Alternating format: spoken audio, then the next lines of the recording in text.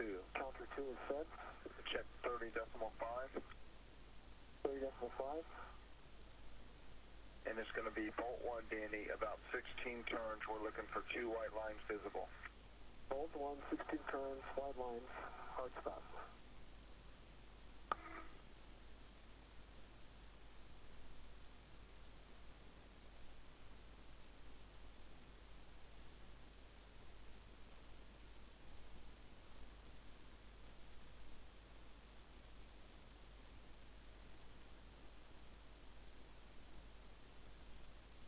And Christer, do I understand you have 12 Papa Foxtrot 8 set?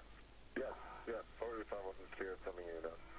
Okay, and then you need to attach a long waist tether to the APFR ingress 8 attach point. That's right.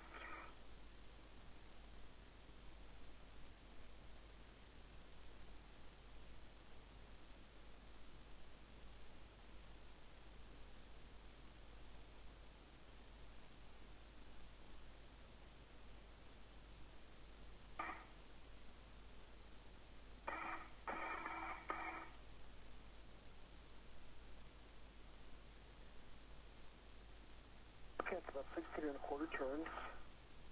Hard stop. I can verify two wide lines visible. Okay, Danny, and now just uh, fold the floating clevis clear of the bolt. Wilco, please fill my PGT. Copy? Okay, the, my long way better is hooked on to uh, the nearest square around there, for the one for the ingress tape. And uh, they close side locks. Okay, then uh, you can put a fair lead, uh, pour me a fair lead to prevent the tether snag on the helmet as required.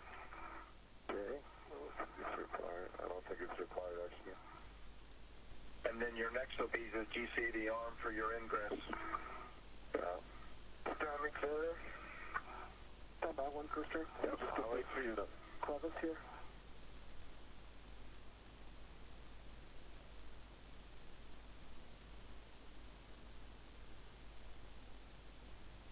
Okay, the uh, floating clevis, clevis is rotated away from bolt one. Okay, Danny, great. Uh, that timing worked out well with uh, Christer. Now we need you over on the starboard side for the MLI flap. Good Okay, luck, head Barry. over there. And a reminder about camera Charlie. Thank you. I'll remember Camera Charlie. Good job on setting up the arm, Christer. Thanks.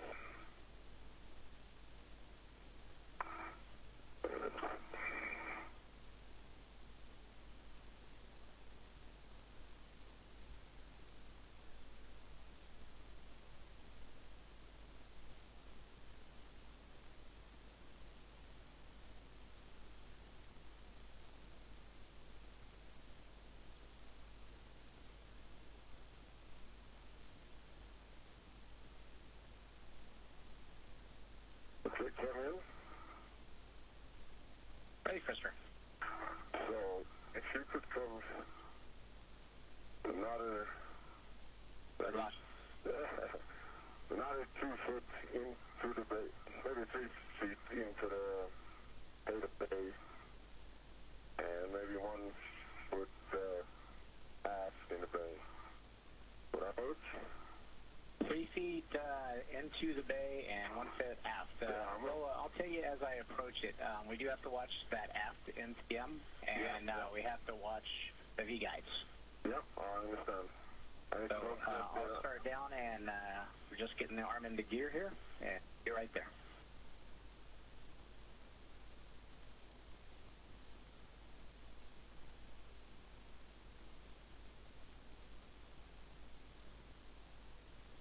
Okay, here we go. okay.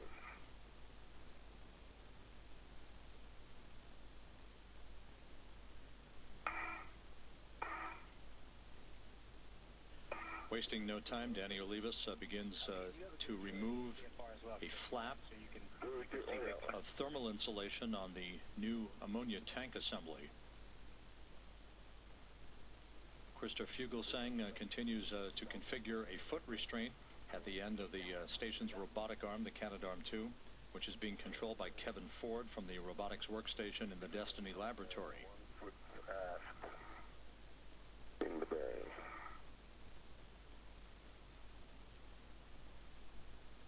Want to come a little bit aft? Yes, please. Hey, coming aft. Beginning a track uh, from southwest to northeast across the southeastern Pacific Ocean, Discovery and the International Space Station providing an orbital portrait with the Leonardo Multi-Purpose Logistics Module clearly in view as the two spacewalkers begin uh, their work for the day at the rear of Discovery's cargo bay.